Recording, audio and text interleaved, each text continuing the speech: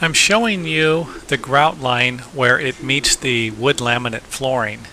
Um, it's not a good idea to grout this area because the wood uh, moves. The tile doesn't, but the wood actually does. It's floating and um, uh, it wouldn't be a bad idea to use latex. I'm going to have to take out some of the some of the grout and apply a um, latex caulking in that area. And again, just giving you a better idea what the rest of the tile job looks like here.